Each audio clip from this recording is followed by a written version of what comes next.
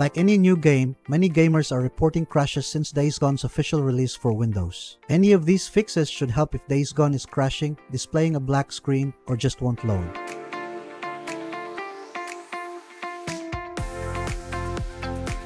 By the way, please like and share our videos to help those who might have the same issues so that we can help them too. Once you're done, then let's begin.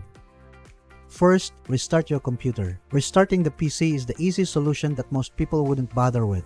But its simplicity is also the main reason why it sometimes works to solve problems. Computers sometimes need to be turned off and on again to get rid of bugs. Next, install game updates. Keeping the game up to date is another easy way to get rid of bugs. Check for updates before starting the game again after you've restarted your computer. Next, check for the latest GPU drivers. It's very important to keep your graphics card in good shape. To fix Days Gone crashes, it's just as important to have the right software as it is to have the right hardware.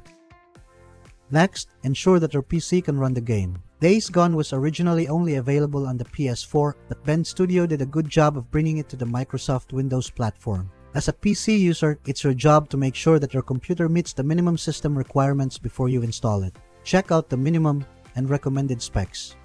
Next, use DirectX 11. If your computer has an updated Windows 10 OS, it may be using DirectX 12 instead of DirectX 11, which is what is recommended for this game. Try to see if this game works better if you choose DirectX 11.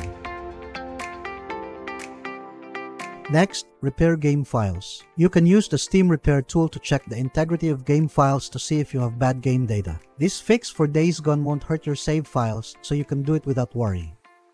Next, delete and reinstall the game. If none of the earlier solutions worked, delete Days Gone and reinstall it. This might help if the main problem is caused by a glitch deep in the system.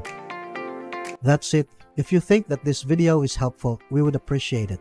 If you can leave a like or comment, subscribe to our channel or share this video to your friends. This can greatly help in making Google's algorithm can find and recommend this video to others.